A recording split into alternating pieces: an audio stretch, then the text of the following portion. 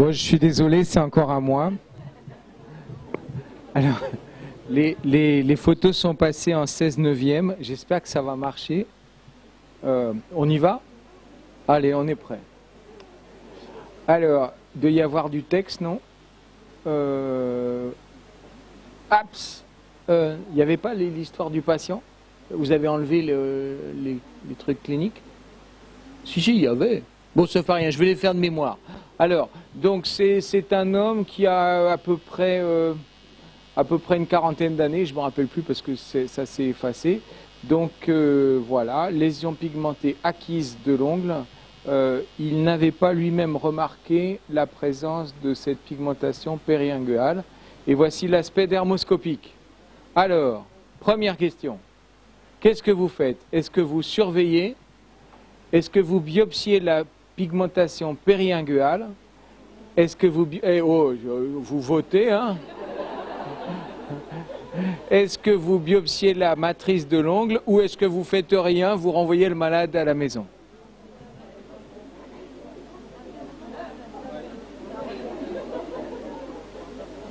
On va voir si vous avez bien retenu la, la leçon. hein. Qui a le numéro 22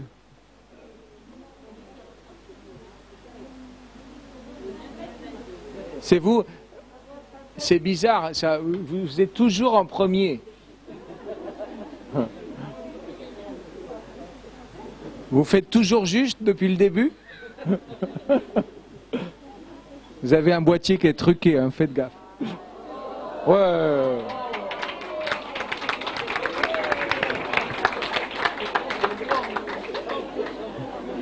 Je vous félicite. Alors, quel est votre diagnostic le plus probable? Névus de la matrice inguale, mélanome de la matrice inguale, pigmentation ethnique ou maladie de Logier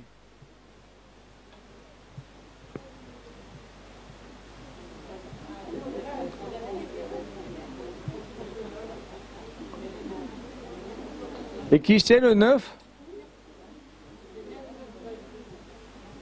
On ne sait pas qui c'est le 9. Bon. Attention. Ah, c'est pas mal. Donc, on va. euh, moi, j'ai pas fait aussi bien. Hein, j'ai pas, j'ai pas fait les diapos. Alors, on va revenir en arrière. On peut? On a le droit? On a le droit. Alors, on va revenir sur la photo clinique. Hop là, c'était bon. Donc, nous avons une mélanonichie longitudinale qui est cliniquement et dermoscopiquement triangulaire. Ça veut dire qu'elle est plus large là que là. Ça veut dire qu'elle s'élargit plus vite que l'ongle ne croît, ce qui est un élément inquiétant, mais c'est clinique ça. hein. Donc, euh, vous avez raison, la dermoscopie, ça sert à rien, mais c'est entre nous. hein. D'accord? Voilà. Ah, c'est ce qui me fait vivre quand même. Donc, ensuite, vous avez deux couleurs différentes. Euh, donc ça fait que deux couleurs, mais vous avez une pigmentation périinguale qui est à la fois proximale et distale.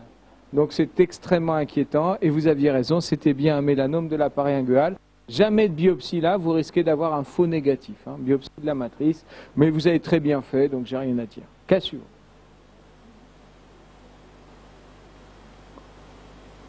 Alors c'était bien un mélanome, il n'y a pas de souci et c'était un mélanome de 0,2 mm d'épaisseur, donc une épaisseur très faible. Cas suivant. Ah, c'est la fesse, la cuisse et une petite lésion euh, brune d'ancienneté inconnue chez une femme de 35 ans qui travaille dans le même hôpital, au service juridique. Non, c'est vrai en plus. Il n'y a pas de procès en cours parce qu'on lui a sauvé la vie, mais quand même. hein. La voilà de plus près. Alors, cliniquement, puisque vous, vous croyez, vous croyez toujours pas à la dermoscopie, n'est-ce pas? Non. alors, cliniquement, c'est quoi? Oh, ça, j'en sais rien. Alors, c'est- un excisiome Est-ce que c'est un excisiome ou, un, ou un abstentiome il y, a, il y soit excisiome ou abstentiome Excisiome, d'accord. Alors, est-ce que c'est un excisiome bénin ou un excisiome malin?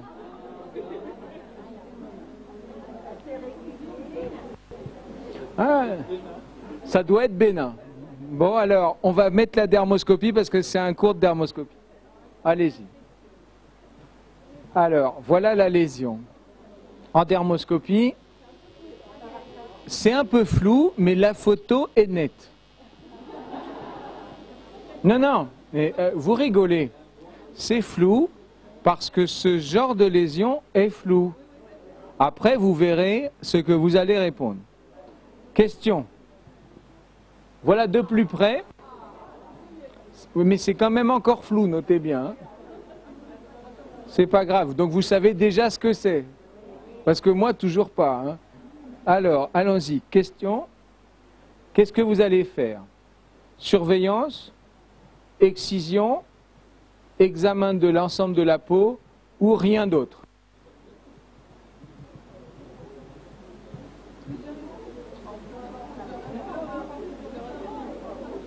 Ah ben ça je vous dis pas, hein, c'est un concours, hein. mais on peut mettre plusieurs réponses bien sûr.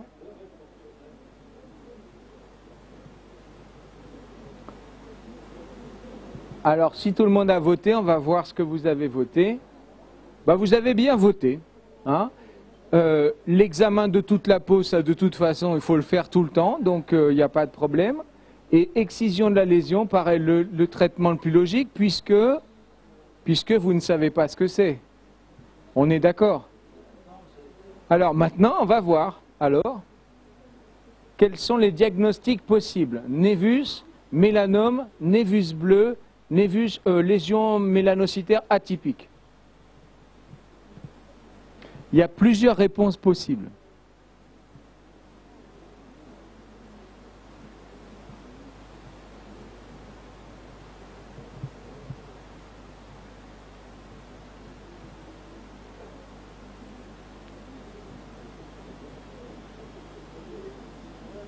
Alors, on va voir ce que vous avez répondu. Eh bien, en fait, toutes les réponses étaient justes. Car en fait, on ne sait pas ce que c'est. C'est un je ne sais pas ce que c'est home. La question, c'est qu'est-ce que ça va être à l'histologie. Hein? Mais là, on doit l'enlever. Alors voici la lésion, diapo. Voici l'examen histologique. Vous voyez rien, moi non plus. Gros plan. Voilà l'aspect des tecs. Alors cette image est prise ici dans le derme. Vous voyez qu'il n'y a pas de maturation, que les, noyaux des mélanocytes restent gros, même en profondeur. Vous voyez la structure, ça descend jusqu'à l'hypoderme et les tecs sont de taille variable. Donc on a une lésion mélanocytaire, je vous passe le, le, le mélana, il est positif, ça descend profondément en parachute, ça ne mature pas en profondeur, et les textes sont de taille variable. Alors je ne vous fais pas de quiz sur l'histologie, parce que ce n'est pas le sujet. Qu'est-ce qu'on fait de plus? Est-ce que vous avez un diagnostic? Alors, immunomarquage. Alors, S100 positif, HMB45 positif en surface, négatif en profondeur, KI67 positif focal, euh, BAP1 pas effacé, euh, profondeur à peu près 5 mm, euh, vous voulez quoi encore? Le mélana positif. Ça vous aide? Non, hein? Non, vous n'avez pas trouvé. Alors qu'est-ce que vous faites? Béraf? Euh, Je ne l'ai pas fait. Non, il y avait un autre truc à faire. Le Breslau? La microscopie confocale Non, elle est déjà enlevée, la lésion ne peut plus. Trop tard? Bilan, c'est-à-dire scanner, PET scan, échographie ganglionnaire, coloscopie. Non, il faut faire autre chose. Diapositive, il faut faire ça. Ça, c'est une fiche. Une fiche quatre couleurs. Donc on prend un noyau bien net et on regarde combien il y a de, il y a de trucs. Donc il y a deux rouges, deux bleus, deux verts, deux jaunes. Donc la fiche est négative. Donc Finalement, on a retenu le diagnostic de Deep Penetrating Nevus ou Nevus de Meregan avec fiche négative. Donc c'est une lésion mélanocytaire ambiguë. Ça veut dire que cette patiente devra être surveillée parce qu'elle peut éventuellement récidiver. Donc vous voyez, ce n'est pas toujours facile, mais quand c'est pas facile histologiquement, c'est pas facile cliniquement et pas facile dermoscopiquement. Cas suivant. Donc ça, c'est une lésion de la jambe chez une dame âgée de 70 ans environ, ancienneté inconnue, examen systématique. Dermoscopie. Voilà. Je vous laisse bien regarder l'image. C'est marrant, hein, je trouve que les photos dermoscopiques supportent mieux le 16 neuvième que les photos euh, cliniques. Là, vous avez bien vu, là. Allez, votez. Qu'est-ce qu'on fait? Surveillance, excision de toute la lésion, biopsie partielle de la lésion, ou on fait rien du tout.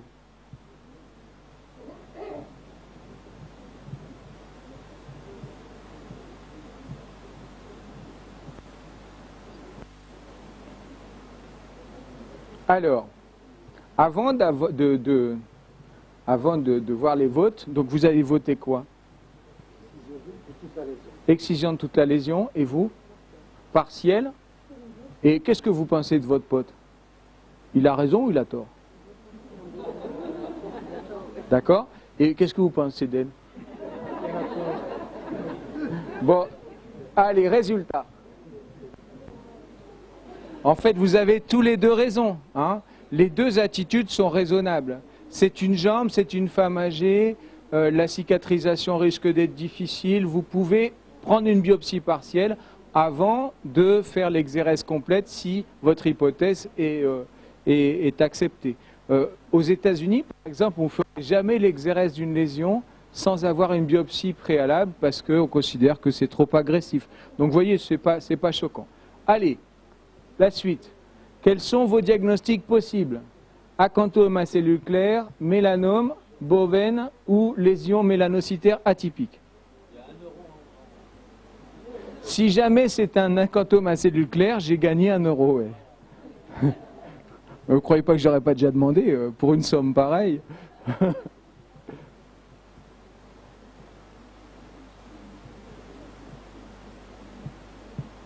95. Tout le monde a voté Parfait.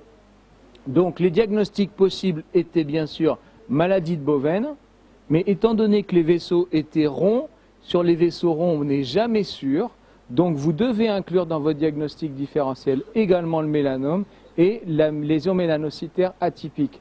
Qui avait mis les trois Personne, vous avez donné qu'une seule réponse. Le plus probable. D'accord. Alors le plus probable, effectivement, c'était ça. Mais je vous rappelle que, en tant qu'enseignant, hein, je vous rappelle que j'avais mis diagnostic possible. J'avais pas dit le plus probable. Donc vous avez tous zéro. Ah oui. Donc, Maroc 0, France 1. Allez, on continue. Alors, il y a autre chose que vous pouvez me dire sur cette photo. C'est bien une maladie de bovine, vous avez raison, mais surtout, diapositive suivante, c'est une maladie de bovine en forme de Mickey Mouse. Ah, c'est, c'est pas juste pour rigoler que je vous montre ça. Il existe une étude actuellement à l'IDS qui s'appelle Funny Dermoscopy. Et en fait, quand vous trouvez des images qui ressemblent à des trucs bizarres, vous devez les soumettre à Andreas Blum. Il y a son adresse email sur le site de l'IDS. Donc si vous voyez quelque chose qui ressemble à Mickey ou n'importe quoi, vous devez l'envoyer. Allez, cassez Oh, vous exagérez. Non, c'est à cause du 16 neuvième, hein, parce que c'est vraiment la forme de Mickey. Alors, voilà le cas suivant. Photo suivante. Donc, c'est une jeune femme, elle a 22 ans, la lésion est pigmentée, les apparitions sont relativement récentes, elle ne sait pas bien, 2 ou 3 ans. En tout cas, euh, c'est sa dermatologue qui l'envoie. Elle-même n'était pas très inquiète. Diapo suivante. Alors, 22 ans.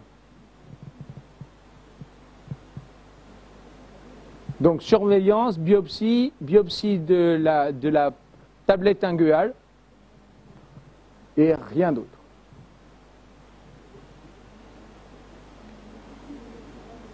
Le 22 n'a toujours pas voté. Ah, ça y est. Alors, résultat, parfait. Donc, je pense que les deux réponses étaient justes et vous avez bien fait de mettre les deux. Euh, on aurait pu euh, proposer la biopsie immédiate, on aurait pu choisir la surveillance. La biopsie de la tablette inguale n'a aucun intérêt. C'est un test sans aucun intérêt que vous devez abandonner. Euh, ça permet de rien voir. On s'en fout de la tablette inguale. D'accord? Alors, rien faire du tout, c'est un peu risqué quand même. On va le voir par la suite. Parce que, en fait, nous, nous avons choisi la surveillance. Parce que, bon, euh, c'était 32 ans, c'était pas 22, je me suis trompé. 32 euh, ans, c'est jeune, on n'a pas d'argument absolu, donc on a proposé surveillance plutôt. On l'a revu, diapo. La voilà un an et demi plus tard. Donc ça veut dire qu'on l'a revu à 4 mois, on l'a revu à 12 mois, on l'a revu à 18 mois. À 4 mois, 12 mois, pas de changement à 18 mois, voilà. Alors, dermoscopie, suite. Vous avez bien vu là La comparaison entre les deux, ça vous va aussi? Alors, suivante. Voilà la comparaison. Suivante. Alors, qu'est-ce que vous faites? Qui c'est qui continue à surveiller? Biopsie de la matrice, Biopsie de la tablette inguale, j'espère que là, quand même, vous n'êtes pas mettre ça, ça serait pas cool de votre part, et qui fait rien.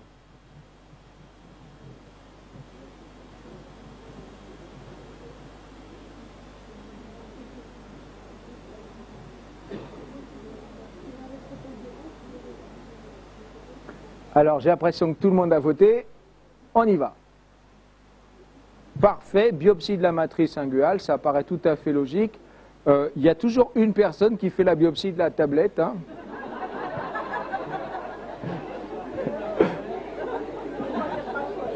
Non, mais il y a des têtus, hein.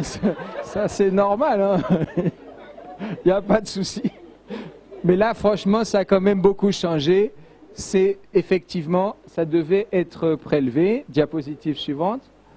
Donc, votre diagnostic le plus probable, Alors là, le plus probable, allez, on va dire un seul.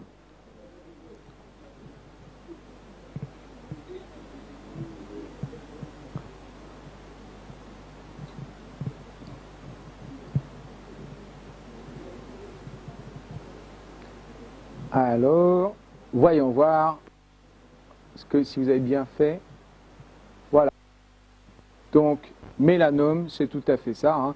Euh, le névus, c'était possible, bien sûr, mais c'est quand même pas le diagnostic le plus probable compte tenu de l'évolution. Pourquoi on n'a rien vu? Parce que, en fait, euh, il y a deux raisons. La première, c'est que si on biopse trop tôt une lésion pigmentée suspecte de l'ongle, on risque d'avoir un faux négatif. ah oui, on peut tout enlever, c'est vrai, mais ce n'est pas certain qu'on fasse le diagnostic. Et vous allez voir, diapositive suivante, qu'on n'a pas tellement fait perdre de chance à cette patiente, puisque le mélanome est toujours in situ. D'accord hein? C'est intégralement un mélanome in situ. Donc, ne croyez pas que ce soit des maladies à évolution rapide. Donnez-vous parfois un peu de temps, surtout quand vous ne voulez pas faire euh, des, cicatrices trop importantes. Hmm? Hmm?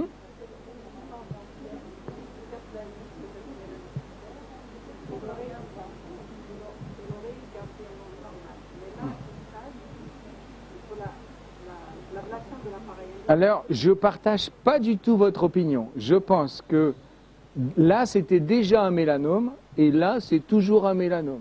Mais la biopsie tangentielle d'un mélanome ne me paraît pas vraiment raisonnable. Je pense qu'il faut faire une excision complète. Mais bon, après, euh, les, attitudes peuvent varier. Mais honnêtement, faire juste un shave pour un mélanome in situ me paraît un peu risqué. Ah, pour avoir une idée. Oui, oui, pourquoi pas. Mais honnêtement, euh, c'est un geste que je n'aime pas faire. J'ai peur de ne pas avoir un diagnostic complet. Enfin, je ne le pratique pas. Cas suivant. Parce qu'il s'impatiente. Euh, non? Ah non? Vous n'avez pas faim Non? Parce que Ah bon?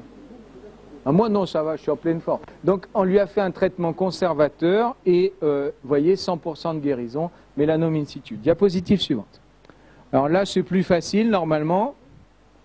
Dia Onychomycose, oui, bien sûr. Du, du, c'est un doigt, hein. c'est un pouce, c'est pas un pied. Hein. Donc, euh, lésion du doigt, diapositive suivante, c'est un pouce, c'est un adulte, je ne me rappelle plus du tout de son âge. Voici l'aspect dermoscopique. Allez, question. Surveillance, biopsie de la matrice, biopsie du lit de l'ongle ou rien d'autre Alors de l'ongle, euh, du lit ou de la tablette, si vous voulez. À celui qui pensait qu'on était à Marrakech tout à l'heure.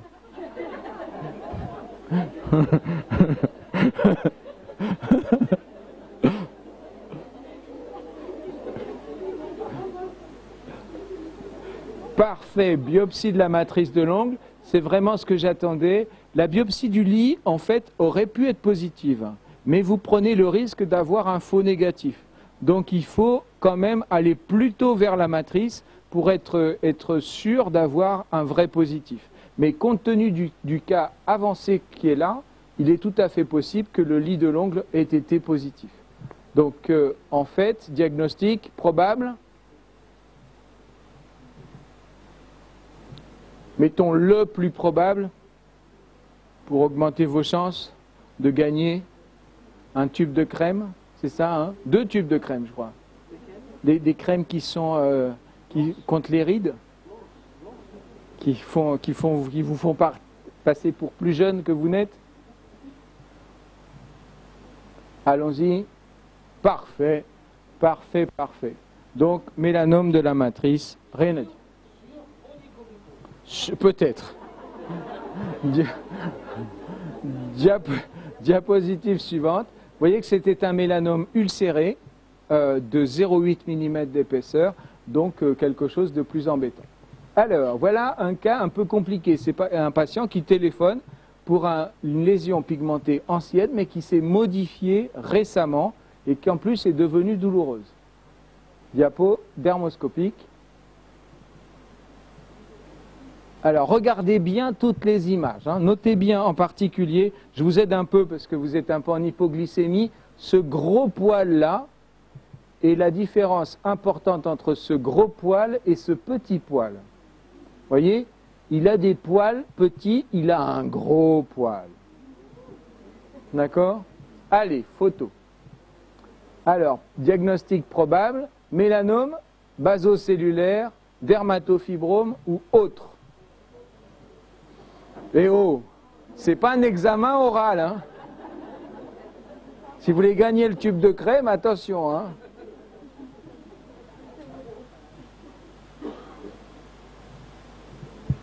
Votre poids en pain sur gras, vous vous rendez compte?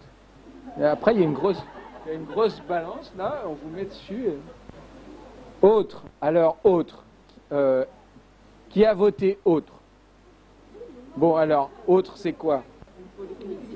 Excellent, folliculite sous-névique, diapositive. Donc c'était une folliculite sous-névique et c'était prévisible du fait qu'il y avait un gros poil et à côté il y en a un qui manquait, qui était absent, avec un bourbillon que vous avez bien vu. Et la douleur, ça peut aller avec.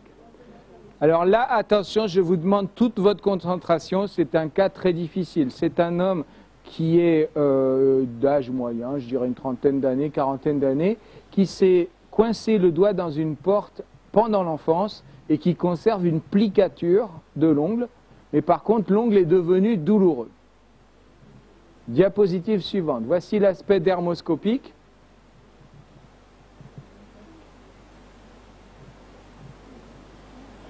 Je vous laisse réfléchir.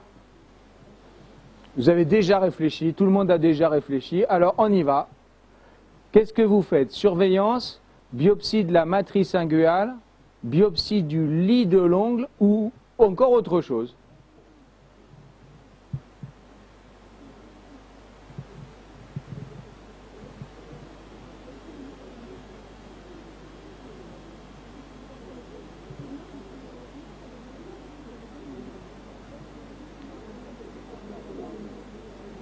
On y est presque Oui. Alors, vous avez répondu biopsie du lit de l'ongle et autre chose. Je pense que ces deux réponses sont acceptables. De la matrice, euh, est-ce qu'on peut revenir en arrière? Encore? Voilà. La lésion, elle n'est pas vraiment matricielle. Donc en fait, euh, la, matrice de l'ongle, surtout sur ce doigt-là, elle est plutôt jusque-là. Donc vraisemblablement, si on biope, c'est plutôt le lit. D'accord? Donc c'est pour ça que la matrice, ce n'est pas une bonne réponse. Je pense que l'exploration chirurgicale est une bonne idée. Toutefois, toutefois mon choix. J'aurais fait un autre choix. Effectivement, on va avancer. Donc c'est pour ça que j'ai accepté les deux réponses. Je pense que l'IRM s'imposait et je vais vous montrer pourquoi. Diapo encore? Voilà. En fait, on a deux taches rouges, ce qui est inhabituel. D'accord? Donc, euh, c'est une lésion douloureuse. Vous suspectez une tumeur glomique, je suppose. Hein mais le problème, c'est est-ce que vous aviez suspecté qu'il y en avait deux? En fait, il y en a deux. Il y en a une là et une là. Ce qui fait que sur un plan chirurgical, c'est quand même plus commode de savoir qu'il y en a deux et de savoir où elles sont pour aller les chercher au bon endroit. Parce qu'une fois que vous avez soulevé l'ongle, ce n'est pas très agréable pour le malade d'y retourner une deuxième fois. Donc l'IRM me paraissait un choix intéressant. Je pense qu'on en fait trop des IRM dans les suspicions de tumeurs glomiques. Lorsqu'on la voit bien, on y va. Il n'y a pas besoin de faire des IRM. Mais quand on ne voit pas bien, quand c'est difficile, quand c'est un ongle qui a déjà été opéré ou traumatisé, je pense que ça vaut le coup. Dans le cas particulier, c'était une double tumeur glomique chez un patient traumatisé, peut-être d'origine traumatique. Diapositive suivante. Voilà. Alors, cas suivant. Donc, c'est un homme d'une cinquantaine d'années, c'est un pouce euh, droit, je crois, mais c'est peut-être le gauche, je sais pas. bon, c'est un pouce chez, un homme d'une cinquantaine d'années, et récemment, ce patient a vu un cardiologue. C'est très important. Je n'en dis pas plus. Diapo suivante. Encore Voici la photo donc dermoscopique. Mais comme je suis sympa avec vous, je vous en montre une autre. Ça, c'est la dermoscopie du bord libre de l'ongle. Donc on regarde non pas par-dessus, mais on regarde le bord libre. D'accord? Alors, vous avez bien vu Vous êtes fait une opinion? Oui? Vous êtes sûr? Alors, qu'est-ce que vous faites? Surveillance, biopsie de la matrice inguale, biopsie du lit de l'ongle ou enfin arrêter le traitement anticoagulant Immédiatement. Car en effet, le cardiologue, qu'est-ce qu'il a fait? Il l'a mis sous anticoagulant. Que font les cardiologues en général? Alors, il n'y avait pas de bonne réponse?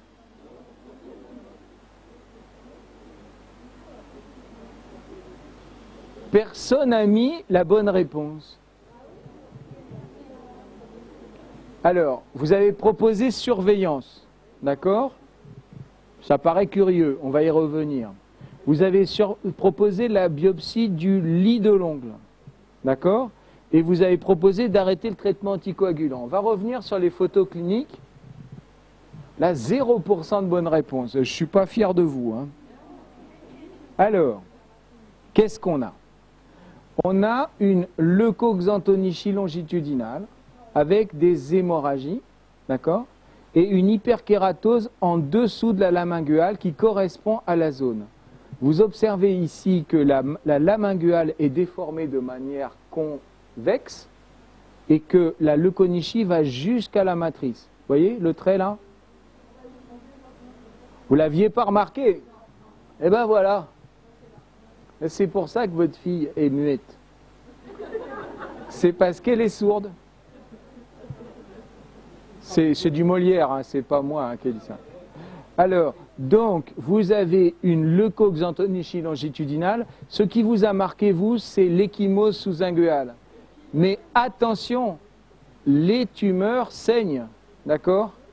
Alors maintenant que vous savez qu'il y a une leucoxanthonichie longitudinale, que ça a saigné avec des hémorragies enflammées chez des hémorragies ici, et que vous avez une hyperkératose sous-inguale, qu'est-ce que vous me proposez comme diagnostic? Onychopapillome? Non. Onychomatricome non plus, parce que l'onychomatricome aurait des petites euh, ponctuations dès à coudre ici. Une onychomycose du pouce, en ligne droite. C'est un champignon qui est champion du monde de vitesse. Il, fait, il va tout droit celui-là. Hein? Un carcinome spinocellulaire. Bonne réponse du quatrième rang à gauche. Enfin, du côté de la salle. C'est bien un carcinome spinocellulaire. Attention, hein, c'est vraiment un sujet important. Déformation convexe de la tablette, leucoxanthonichie longitudinale, hyperkératose sous-ingueale, c'est les trois signes majeurs du carcinome spinocellulaire. Et très souvent, ils sont révélés par les cardiologues grâce à leur traitement antiagrégant plaquettaire qui font saigner. Diapositive suivante. Donc c'était bien un carcinome spinocellulaire. La bonne réponse était biopsie de la matrice. Pardon? Ah oui, arrêter les anticoagulants n'a aucun intérêt. Comment vous faites la biopsie ben, Sous anticoagulants. On n'arrête jamais les anticoagulants dans la dermatologie chirurgicale. Ça ne se fait plus du tout. Dans plus aucune indication. Diapositive suivante. Alors ça, c'est un cas qui va être peut-être plus facile. Diapo suivante. Encore. Voilà. Regardez bien. Là, ça va aller très vite. Hein. Normalement, vous devez avoir deux secondes pour répondre. Question. Qu'est-ce que vous faites? Surveillance, biopsie partielle, excision complète de la lésion? Attention, le 22, je vous surveille. Il est. Monsieur 22. Monsieur 9, il a bien travaillé.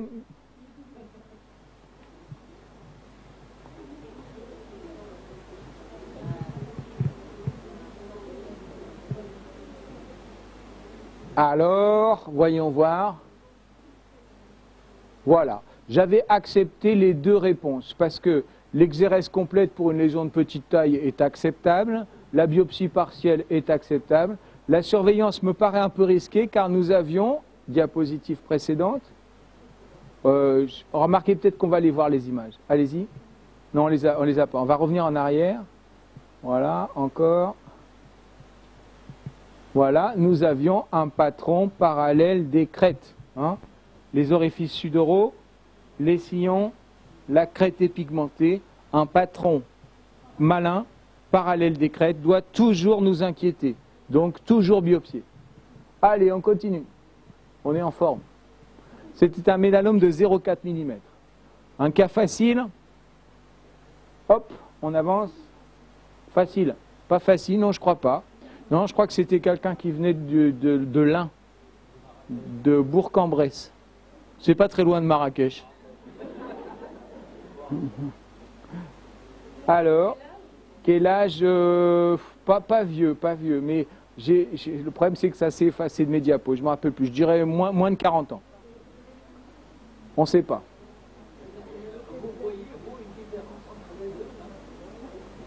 Oh, bah ouais. Ça fait 4 ans que vous venez au cours d'hermoscopie, vous ne voyez pas de différence entre les deux. Tenez, prenez mes lunettes. non, non, mais alors. Allez, on continue. Question.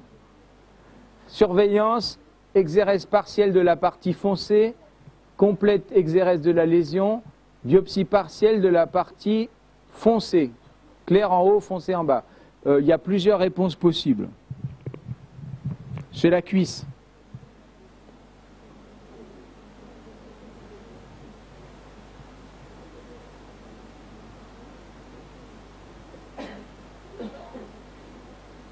Alors voilà.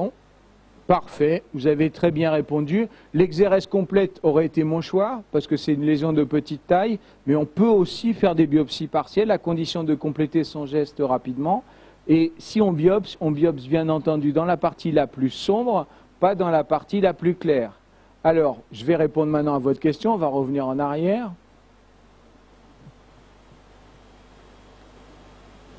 Hop. Alors, entre les deux, effectivement, il y a quand même une différence de taille. Je vois un patron multicomposé asymétrique avec réticulation, zone homogène, pseudopode, dépigmentation pseudo cicatricielle voile gris-bleu. L'ensemble est globalement asymétrique et en plus on a une hyperpigmentation qui touche le bord, donc ça fait quand même beaucoup. Donc oui, il me semble qu'on augmente les chances de diagnostic. Toutefois, je partage votre opinion, cette lésion est déjà cliniquement très suspecte.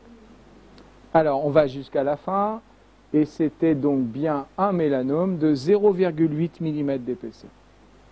Cas suivant, hop, on va aller rapidement parce que c'est un cas facile. Dermoscopie. Normalement, vous savez ce que c'est. Allez, on passe aux questions.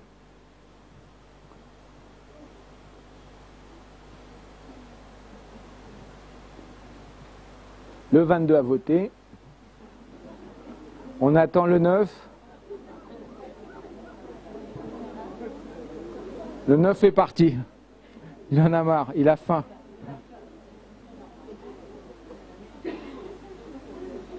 C'est bon. Voyons ce que vous avez répondu. Parfait, excellent, excellent. Allez, on passe au cas suivant. C'était bien un baso, vous avez faim, vous avez raison. Ça, c'est facile aussi. Diapo suivante. Voilà la dermoscopie. OK. Alors, question. Allez-y, commencez. Donc, biopsie de la partie sombre, biopsie de la, de la partie claire, de la partie sombre, excision complète, surveillance.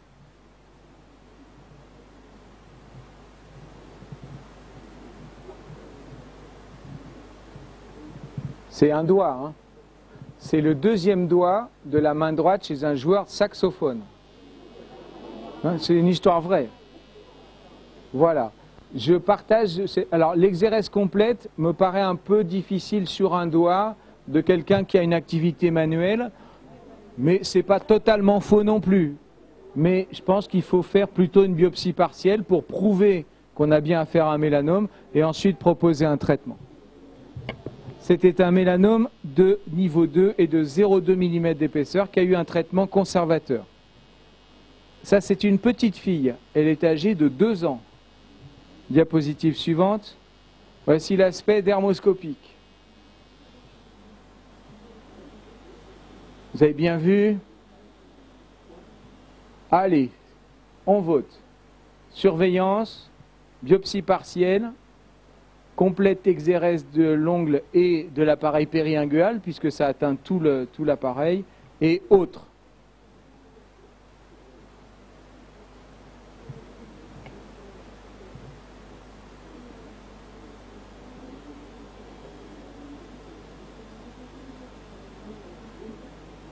Alors, voyons vos réponses. Alors, surveillance, c'est effectivement ce que vous avez choisi pour la majorité, et probablement du fait de l'âge très jeune de cet enfant, et c'est un choix qui paraît tout à fait raisonnable. Euh, biopsie partielle, c'est possible, mais ça va entraîner une grosse difficulté. C'est-à-dire que dès lors que vous l'aurez biopsié, la surveillance va devenir très difficile, car la biopsie va énormément modifier les conditions anatomiques et va rendre très difficile la prise en charge. L'exérèse complète de l'ongle et de l'appareil périingual, voire l'amputation de l'orteil, est un traitement qui était couramment recommandé autrefois dans ce type de lésion. Je crois qu'on peut dire que c'est le passé. La question est qui a répondu autre? D'accord? Et, et c'était quoi autre? On ne le revoit même plus du tout.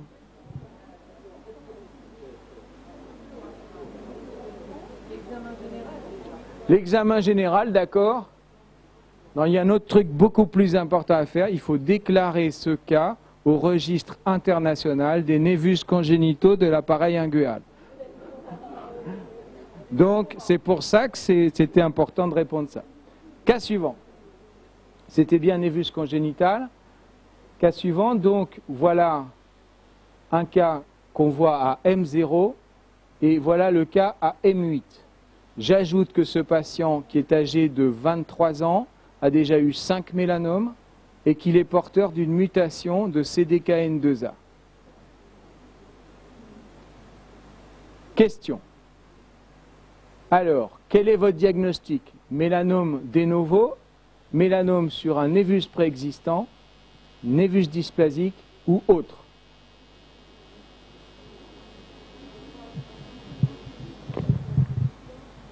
L'histoire, il a déjà eu cinq mélanomes. Lésion préexistante, euh, c'est un patient qui est surveillé régulièrement. Cette lésion euh, a été photographiée pour la première fois euh, quelques mois avant. Alors, donc, la réponse juste est mélanome de novo. Les patients atteints de mutation CDKN2A font très peu de mélanomes sur névus préexistants. Dans la majorité des cas, ce sont des mélanomes qui surviennent en peau normale et on n'en fait pas le diagnostic lors de la première consultation. Souvent, c'est la surveillance dermoscopique numérique et ça pousse comme des champignons. C'est pour ça que ces patients sont revus tous les six mois à vie. Ce patient donc a, déjà eu six mélanomes au moment où vous voyez ces photos. Depuis, il en a eu quatre autres. Donc là, c'était son cinquième primaire. C'était un SSM de 0,55. Cas suivant. On va passer ce cas-là parce que sinon on va prendre trop, de temps. Allez, on saute. On saute, c'est pas trop intéressant. Voilà. Celui-là, on va le faire. Allez. C'est un monsieur qui est ceinture noire, euh, je sais pas combien de dan de karaté, prof de karaté, très mauvais caractère, et qui vient vous voir pour cette lésion parce qu'il dit que c'est pas beau. Donc il voudrait que vous puissiez faire un traitement par laser. Diapositive suivante. Encore. Voilà l'aspect dermoscopique. vous avez bien vu. Tout le monde s'est fait une opinion. Alors voilà les questions. Est-ce que c'est un mélanome? Est-ce que c'est une mélanome type euh, LMM Est-ce que c'est une, une kératose actinique lichénoïde Un mélasma ou autre chose? Mycose, par exemple. Là, c'est bloqué. Là.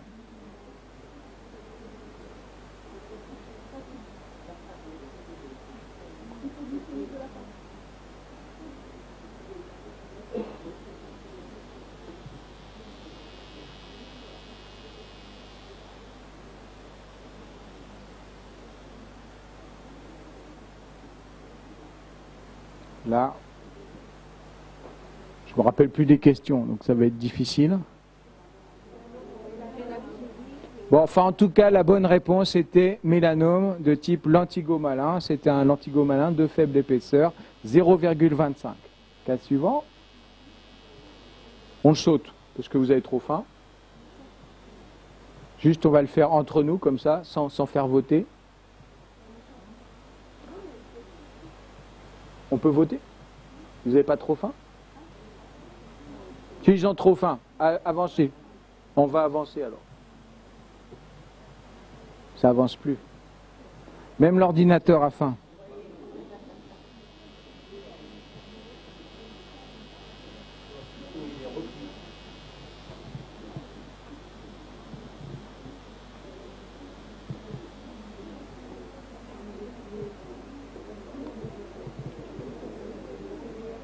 Ça marche plus? Tu sais ça le temps de, ça, ça doit tourner. La machine mouline.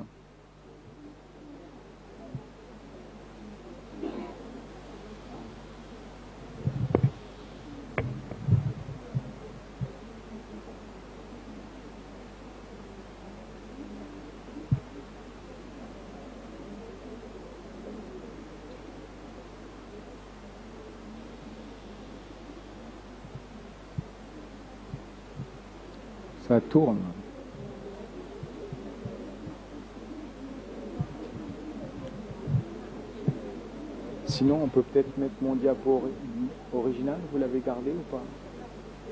Parce que là... Bon, alors, euh, je crois qu'on va arrêter le vote. Hein, et euh, on va annoncer les résultats de... Quand même, on a fait une vingtaine ou même plus? Vous avez très très très bien travaillé. Donc, euh, vous méritez. Hein? Euh, de toute façon, euh, chacun doit retenir juste le numéro du boîtier et on va vous envoyer le, le classement. Enfin, pour chacun, on prendra les deux premiers et après, je ne sais pas si. Alors, bon, tirage au sort. Ça, ça arrangerait beaucoup de personnes. Ça arrange professeur Scrat aussi.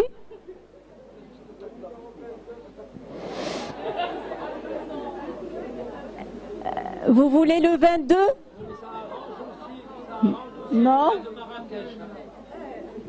Allez-y. Bon. Donc, est-ce que vous êtes d'accord pour faire un tirage au sort? Oui? Alors, je vais vous demander d'écrire votre nom dans la feuille d'évaluation et de la remettre.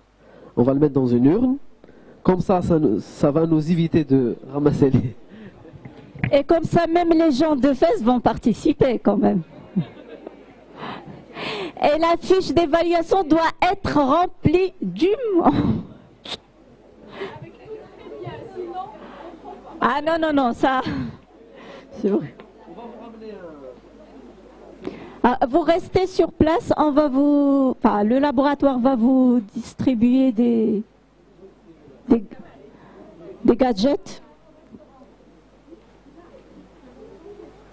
Bah, l'essentiel, c'est de vraiment, c'est de participer, d'évaluer dans l'entente et la bonne humeur. Euh, on rigole.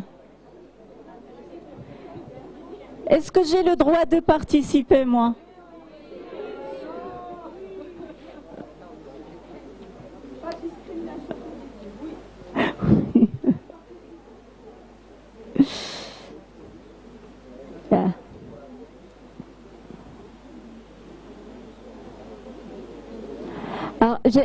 S'il vous plaît, alors j'en profite pour vous annoncer la création du groupe Imagerie cutanée Maroc, dermoscopie, et que toute personne euh, piquée par euh, la dermoscopie puisse rejoindre ce groupe.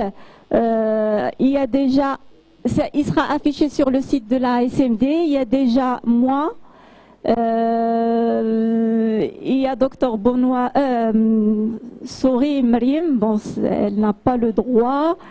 Et pour ceux ou celles euh, qui... Il y a docteur Fir qui partant avec nous.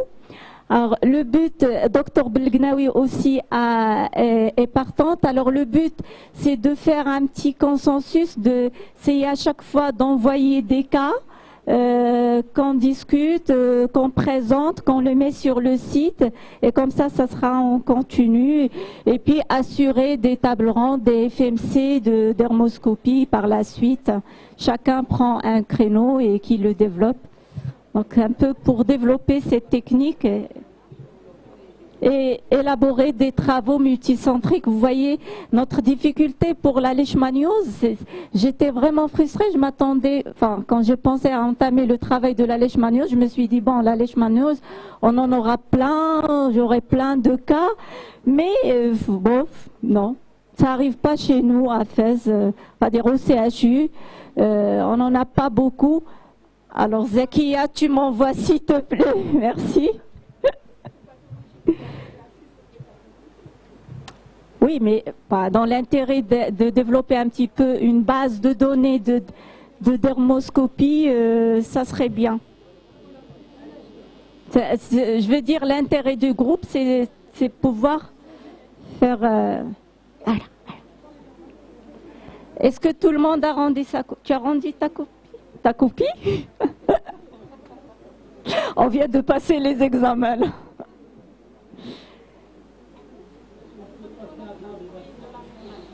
Hein?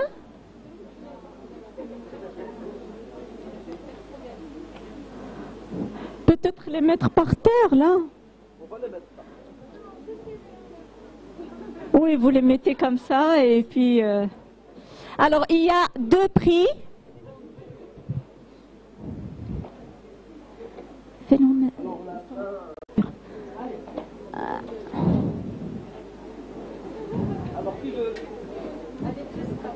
le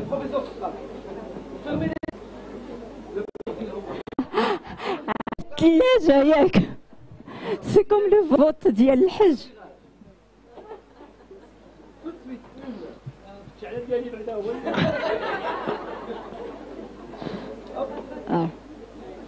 C'est pas moi, c'est sûr. Docteur Brada Jamel. Alors j'invite euh, Amine à lui donner son cadeau.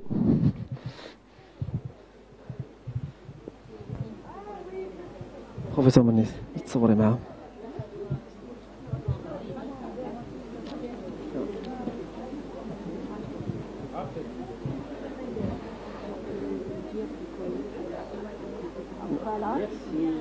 Alors, c'est un dermoscope Dermlife. Et la c'est qu'il a une.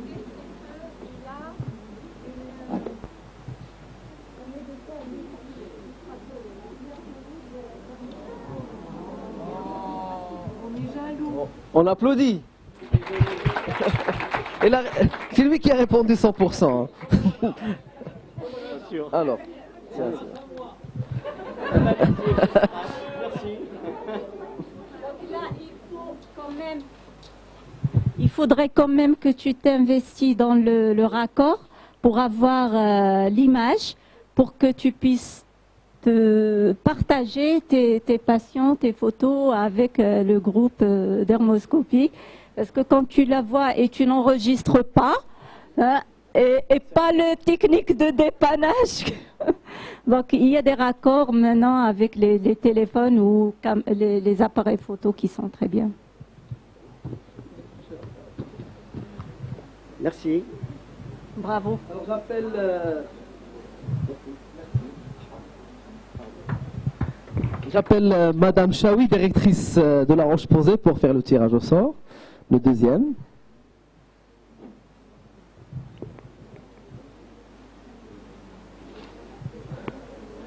Donc la même chose.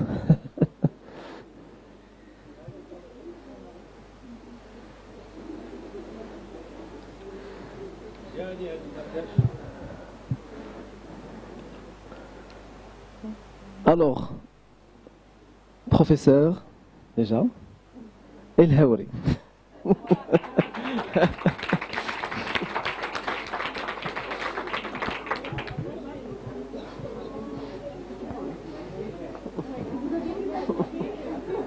Et notre photo avec professeur El.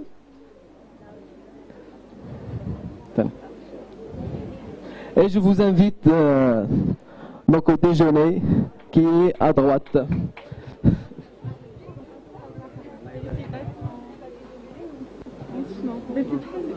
Mmh.